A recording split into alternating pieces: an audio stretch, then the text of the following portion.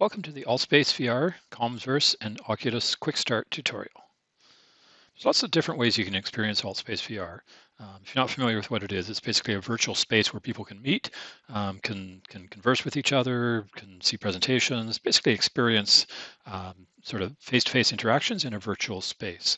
The three ways that we're going to talk about here today, first is through a browser, second through is the, the Windows Store app, and third through the various different Oculus products. Now, Oculus has a, a, number of different products out. We're going to talk mainly about the Rift and the Quest. The Rift is the, the full PC connected virtual reality headset. So basically, it uses a, a gaming PC and a high end graphics card connected through a tether to the headset. And basically, the graphics of the virtual world that you're in are rendered on the PC and they're visible in the headset. Quest is a little different. It's an all-in-one headset, um, so it basically has a, a souped-up smartphone inside of it, and it's a it's a self-contained wireless device. So you don't need a PC. You don't have any tether back to it. Um, in fact, it doesn't even use external cameras to detect where it is. It uses cameras inside the Quest to position it. So it's pretty cool that way. Um, and that's kind of the second option. The third that we're not going to talk too much about is the Oculus Go. It's now officially discontinued from from uh, Oculus or from Facebook, uh, but it's sort of a, a lighter weight version of the Quest.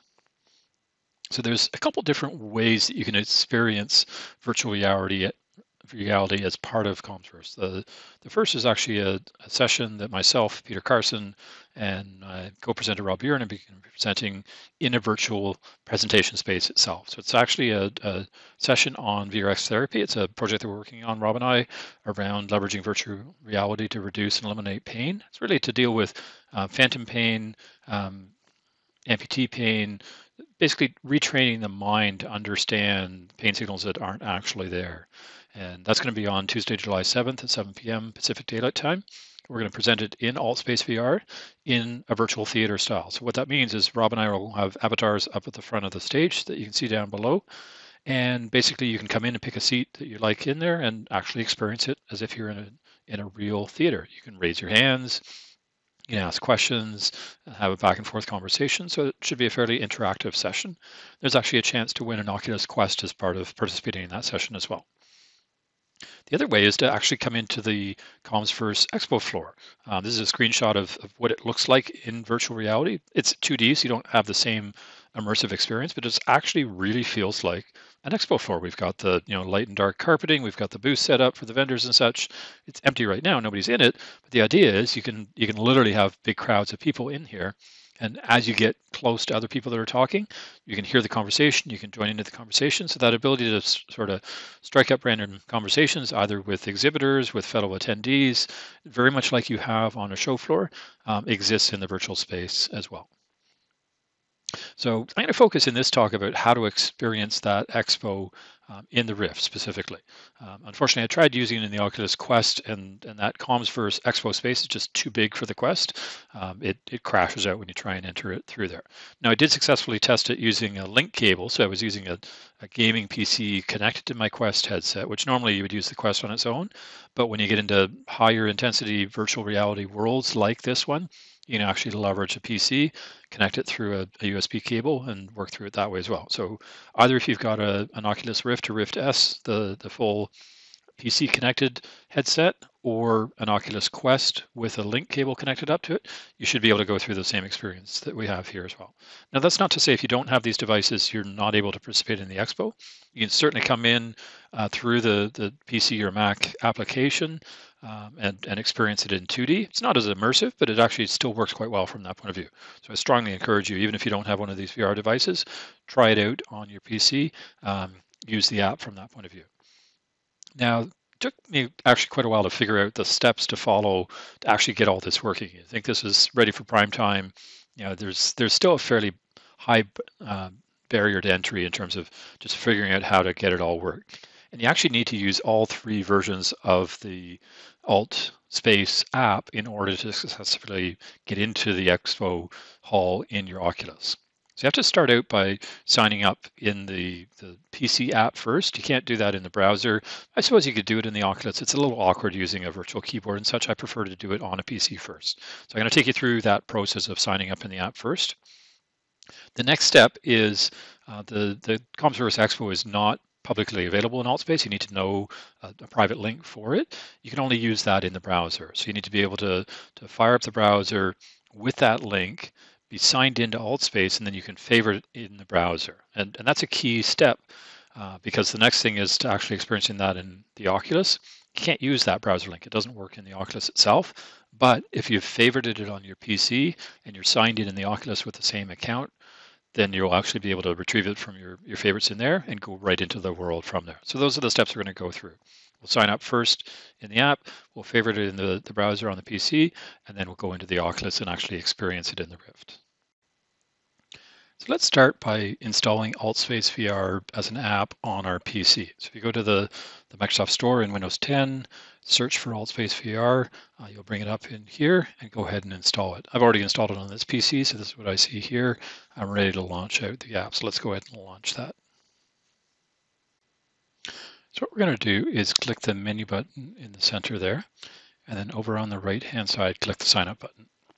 And we're going to come over to the sign up form basically fill in our display name, which is what other people see you as in AltSpace VR.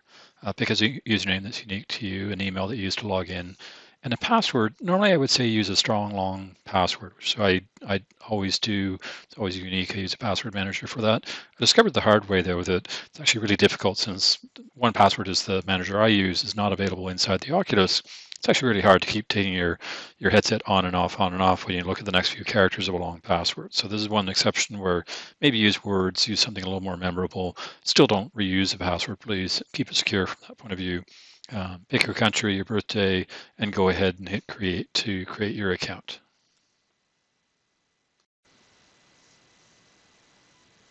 So AltSpace VR will then basically create your account and reconnect to the space signed in as that new user that you've just created. So give it a sec to load up. Now we're back into our home and we start a tutorial. So let's go ahead and begin the tutorial.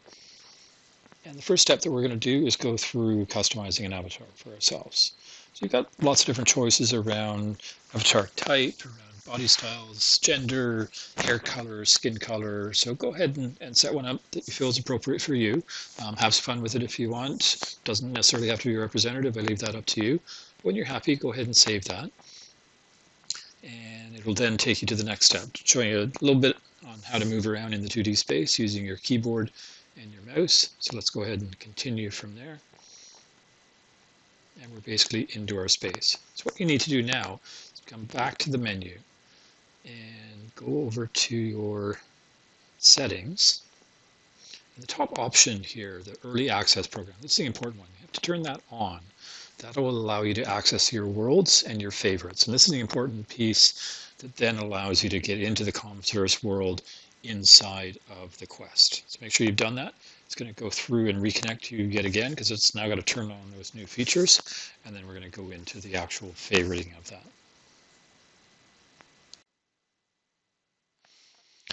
So now we're, we're done in the AltSpace app on the PC for the time being. Even if we're going to continue to explore in 2D on the PC, you have to close it down at this point because what you have to do is click this link here uh, in order to access AltSpace VR in the browser and, and get access to this private space. And basically when you do that, you can favorite it, and then you'll be able to access it either in the, the AltSpace app on your PC or also in your Oculus um, in, the, in full VR from that point of view. So let's go ahead and do that.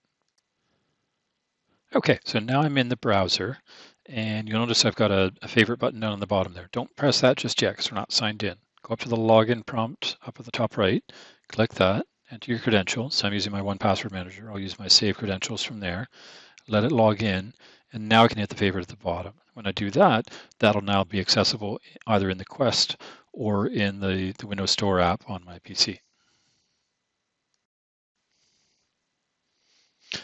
So now at long last, we're actually ready to enter the CommsVerse Expo Hall. I'm going to be wearing a Rift. Actually, I have my daughter Kate helping out. She's wearing the Quest connected to a, a gaming computer through the Oculus Link cable. And we're going to take a little tour around. Now, full disclosure, it's a little jerky. It's my first VR recording. So I'm actually using the uh, the Oculus Mirror Diagnostic software to, to mirror it to the PC and then Camtasia to record it. Um, so it does tend to jump around a little bit, but bear with us and come check it out. Okay. So here's our Commsverse exhibit floor. It actually looks a lot like a, a real show floor. We've got booths, we've got vendors. It's pretty quiet. We're not actually open right now, but we're going to do a little advanced walk around. I've got Kate with me here. So Kate, uh, you know, just some general things for people to know. You know, I've got my Oculus Rift on. You're wearing a Quest. I've got my hands that show up as controllers here. I can use my right hand and scroll my view rather than turning my body. So I've got a little bit of control there. I can use my left hand, pull back to move away from you, push forward to move closer and left and right. Now as we, we're close together right now, so if you talk to me, I hear you quite clearly. Yeah, yeah, I can hear you fairly well right now. Okay, so let me actually use the uh, A button on my right controller. I can press it down and I get a little transporter beam here. And when I let go, boom, that's the spot that I've gone to. And, and I don't know if you can hear me at all now because you're fairly far away. Can you wave at me? Hey, I see you up on the stage there. So why don't you come down? Let's head over to the Extranet User Manager booth. So I'm going to do a couple of transport jumps here and jump over to the booth here. We can see our booth, which is awesome. And here comes Kate. Oh, she just transported somewhere different. Or is she right beside me? There she is. Come on over this way. Here, I, will wave you in. So you can hear me now there we go. that you've come closer again, right? Yeah, now I can hear you again. Cool. I mean, it'll be interesting to see when, when the room is busy and we've actually got a crowd in here I think we're going to hear sort of fainter background conversations going. And as you get towards a cluster of people, you can actually join in the conversation, much like you would randomly with people on a show floor. So that's sort of the idea here. Cool. Well, thanks for the uh, the quick tour, Kate. And uh, hopefully we'll see good crowds in here come next week. Bye. Thanks for having me.